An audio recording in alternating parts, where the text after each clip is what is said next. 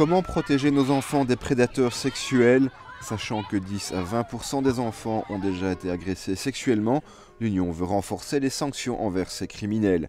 Internet est une plateforme de choix pour ces prédateurs. Pour l'ONG Child Focus en Belgique, une des solutions est de sensibiliser les parents et les enfants aux risques encourus sur la toile. We need education there too. We need awareness raising, and uh, we also need uh, the possibility for people to react immediately and to report to an NGO, to a civil hotline, or to police forces when necessary. Child Focus dispose du numéro d'alerte européen 116 000. Il ne fonctionne que dans 13 pays de l'Union pour le moment. Les eurodéputés prennent la question au sérieux. Le débat porte notamment sur le blocage ou non d'un site pédopornographique lorsque le délit est constaté.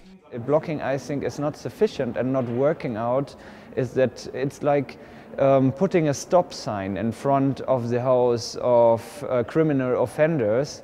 Uh, when they come back home, they will see the stop sign and they will move to other places, perhaps to places which we control, can control not so easy.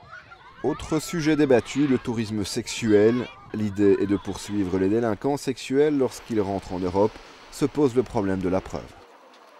The best thing is if there are travel agencies that we know deal with this sort of thing, we get them from there. The other way is, I know they're doing it in England, is uh, undercover operations where people try and go, uh, police try and, and book the type of holidays that these people go on, and we can catch them there. Un nouvel arsenal juridique européen pourrait être adopté début 2011.